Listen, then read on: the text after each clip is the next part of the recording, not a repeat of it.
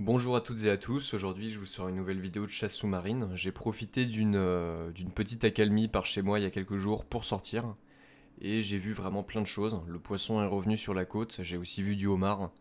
Donc euh, j'ai fait cette super sortie de chasse sous-marine qui s'est avérée être euh, une des meilleures de la saison.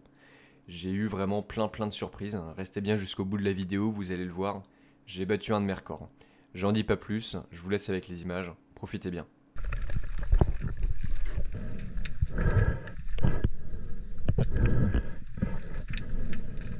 Quasiment dès le début de ma sortie, je suis tombé sur une très très jolie faille que je connaissais.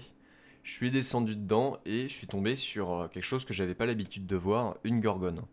Les gorgones, c'est une espèce de coraux qu'on trouve en Bretagne, généralement dans les zones où il y a beaucoup de fond. Mais là, il y avait à peine 4 mètres et euh, je suis tombé là-dessus. Donc c'était une belle surprise, première fois que, que j'en voyais comme ça dans si peu de fond. Et vous allez le voir, c'est pas la seule que j'ai vue ce jour-là, donc euh, coup de bol. Et en regardant sur ma droite, il y a un énorme banc de mulets qui est passé, juste, euh, juste en limite de portée, donc j'ai pas pu les tirer tout de suite. Ils sont passés juste devant moi, ils m'ont regardé et ils sont repartis. Donc là vous les voyez, ils sont à peu près 6-7 euh, mètres, donc je peux pas les tirer avec mon fusil, j'ai pas assez de puissance. Mais ils sont bien là, ils sont partout. Et euh, ils sont à moitié en train de me narguer, ils tournent autour de moi. Donc, euh, comme j'étais pas prêt à les tirer, je suis remonté à la surface. Je me suis dit que j'aurais peut-être une occasion de les retirer euh, un petit peu plus loin, sachant que la plupart du temps, quand on loupe un banc, entre guillemets, on a peu de chances de retomber dessus. Mais bon, je perds pas espoir. Donc, je redescends pour vous refilmer la gorgone. J'ajuste la caméra, j'essaie de la placer bien devant pour que vous puissiez bien voir. Et encore une fois, sur ma droite, eh ben, le banc est repassé. Donc là, cette fois-ci, j'ai essayé de longer la faille, tant pis pour la gorgone. Je longe discrètement la faille, tranquillement. J'ai essayé de m'accrocher à une roche pour, euh, pouvoir bien être euh, stable et avoir un tir précis. Et je me suis tenu prêt pour tirer sur, euh, sur les mulets. Donc là, ils sont là. J'ai mon fusil qui est prêt à tirer. J'en vise un, mais il est parti un peu trop loin. Donc malheureusement, j'ai pas pu en tirer un ce jour-là. J'aurais dû être plus vif la première fois que je les ai vus. Comme je vous le disais, généralement, quand on voit du poisson et qu'il repart, on n'a pas de deuxième chance. Donc ce jour-là, tant pis. Peut-être que je croiserai le banc euh, lors d'une prochaine sortie. Un petit peu plus loin, je suis retombé encore une fois sur une gorgone. Décidément, c'est un spot où il y en a beaucoup. Mais juste avant de vous filmer euh, la gorgone, j'ai voulu inspecter la faille dans laquelle elle, était. Donc je suis descendu, j'ai regardé un petit, peu, euh, un petit peu le long du sable, s'il n'y avait pas un homard qui se cachait là.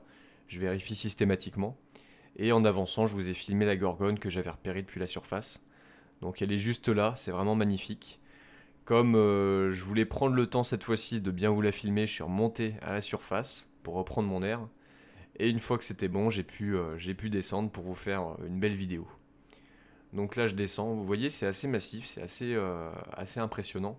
On remarque que c'est pas une algue, c'est beaucoup plus rigide. C'est pas comme une algue qui va être déplacée, déplacée par les marais. Là, c'est vraiment quelque chose de dur. C'est un corail. Donc euh, c'est magnifique. J'ai pas l'habitude de voir ça, c'est une, rencontre rare. Il y a quelqu'un qui m'avait demandé dans les commentaires sous une vidéo si j'en voyais. Bah la réponse est oui, mais c'est quand même hyper rare euh, par chez moi. Donc je suis remonté à la surface et j'ai retrouvé euh, Calvin, un ami qui plonge aussi avec qui j'étais sorti ce jour-là. Il voulait se tirer une petite vieille pour la manger le soir, donc il en a tiré une ce jour-là. FC une taille raisonnable, de toute façon il voulait pas un gros poisson, donc ça lui convenait très bien. Mais il a perdu ce, jour-là son couteau, donc il pouvait pas l'achever, et donc il m'a fait signe, euh, et j'ai achevé le poisson pour lui. Ça vous permet de voir comment faire, et euh, si jamais vous avez besoin d'achever un poisson, faites comme moi, vous prenez votre couteau et vous le glissez juste derrière les yeux. Un tout petit peu après, depuis la surface, euh, j'ai observé une pierre, et en la retournant, je suis tombé sur un ormeau. C'est l'occasion pour moi de vous faire un petit peu de, de prévention, entre guillemets, et de vous rappeler les règles. Les ormeaux, on n'a pas le droit de les pêcher en chasse sous-marine. La pêche des ormeaux, c'est uniquement à partir du 1er septembre et en pêche à pied uniquement. Donc lorsque vous pêchez les ormeaux, vous devez avoir la tête hors de l'eau. Ce jour-là, c'était pas du tout le cas pour moi. Donc j'ai laissé l'ormeau tranquille, j'ai reposé la pierre et euh, je suis reparti. Ce jour-là, j'ai aussi vu du homard. En descendant dans une faille un petit peu plus loin, je suis tombé sur un petit spécimen. Mais bon, il était trop petit, donc euh, je l'ai laissé tranquille. Même s'il était maillé, j'ai préféré euh, faire une pêche sélective, donc je lui ai foutu la paix. Et juste derrière lui, il y avait un congre, donc j'allais pas m'amuser à, mettre la main dans le trou. Et j'ai aussi eu une petite surprise euh, sur ce banc de sable. Depuis la surface, j'ai vu un petit homard qui se promenait. Alors ça, c'est vraiment quelque chose que j'ai pas l'habitude de voir. À vrai dire, c'est la première fois que j'en voyais un. Je sais que ça peut arriver, mais c'est plutôt rare de voir comme ça des homards euh, hors de leur trou. Donc bon, il était trop petit, je l'ai laissé, euh, laissé tranquille, bien entendu, je l'ai pas pêché. Si jamais les vidéos vous plaisent, n'hésitez pas à vous abonner, à liker et à partager cette vidéo. En plus de ça, je réponds à tous les commentaires, donc euh, n'hésitez pas à me donner vos suggestions de vidéos, vos conseils ou même vos critiques sur la vidéo dans l'espace commentaire. Je prendrai le temps de vous répondre. Merci à vous.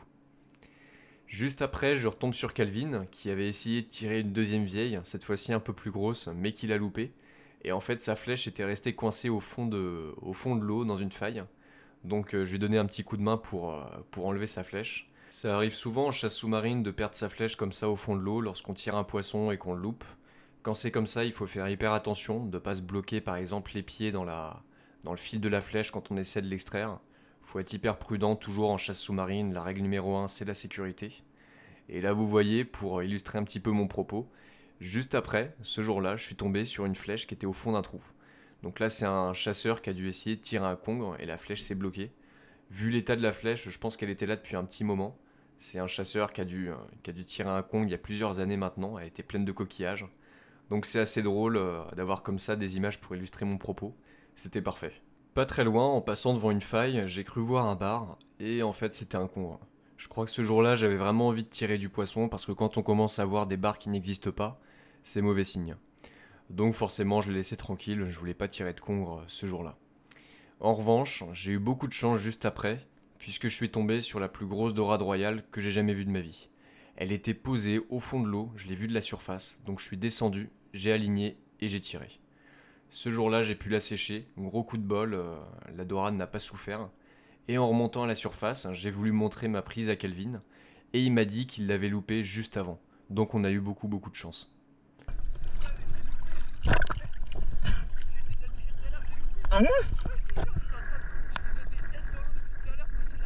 Ah excellent En fait, quelques minutes avant Kelvin avait vu la dorade, il avait essayé de la tirer, et en la loupant, elle était partie euh, dans ma direction, et c'est comme ça que j'ai pu la voir.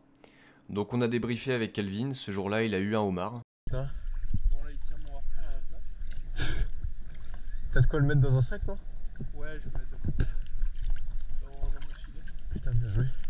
J'ai des trous à inspecter encore. Il y a un trou, on pourrait peut-être le faire à deux. Dans la suite de notre plongée, on est allé inspecter d'autres trous que je connaissais bien. Ce jour-là, j'avais pris ma montre GPS, donc j'ai pu me rendre euh, sur les bons spots à homard. Et malheureusement, j'en ai pas trouvé d'autres. Le seul homard qu'on a fait ce jour-là, c'est celui que Calvin vient de vous montrer. Et bien entendu, la dorade royale que j'ai capturée. Donc euh, je vous sortirai prochainement des vidéos que j'ai tournées euh, à cette période où j'ai eu beaucoup de homards. Il y aura une vidéo dédiée. Restez bien connectés, merci d'avoir regardé la vidéo jusqu'au bout, et euh, je vous dis à la prochaine pour de nouvelles aventures. Salut